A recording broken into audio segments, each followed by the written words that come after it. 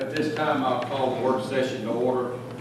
Um, Before we get into our meeting, we've got a special presentation. Ms. Phipps, would you like to?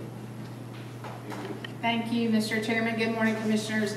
At your last regular meeting, we went over our juvenile justice statistics and, and where we are with our grants. And one of the things that I mentioned to you program-wise that um, some of us have been involved in recently was the possible development of a college and career academy. And this will um, take our young people and get them on a living wage career path that also involves education certification um, a lot sooner than anything that we're currently doing. And I think that we see the impact and, and the opportunity there to break the cycle of generational poverty. In a lot of areas, we see a, a um, an evidence-based opportunity to decrease the number of young people who are entering the juvenile justice system here in our community.